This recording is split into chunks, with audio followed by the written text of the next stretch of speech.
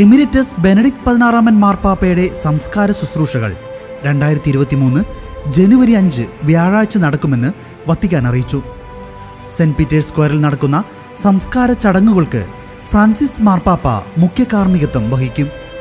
Benedict പതിനാറാമൻ മാർപ്പാപ്പയുടെ ആഗ്രഹങ്ങൾക്കനുസൃതമായി ചടങ്ങുകൾ ലാളിത്യത്തിന്റെ അടയാളത്തിന് കീഴിൽ നടത്തപ്പെടും എന്ന് വത്തിക്കാൻ വക്താവ് മാറ്റിയോ ബ്രൂണി പറഞ്ഞു.